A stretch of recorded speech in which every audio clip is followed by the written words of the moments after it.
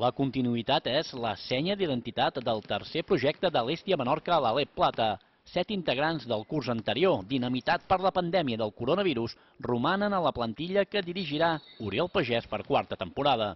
També volem seguir creixent, no, no, no quedar-nos en el que teníem i, evidentment, doncs, doncs hi ha treball darrere doncs, i, i ens en queda encara per,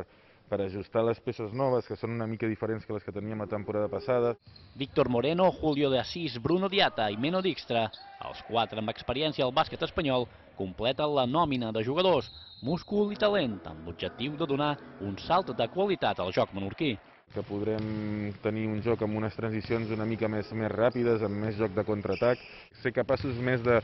de controlar el rebot, cosa que, que ens venia costant en les darreres temporades. Els resultats de la pretemporada han estat significatius, amb dues victòries davant equips de l'Aleport, el Granada i el Palma. El club assumeix amb normalitat l'etiqueta de ser un dels favorits a l'ascens, però des de la prudència.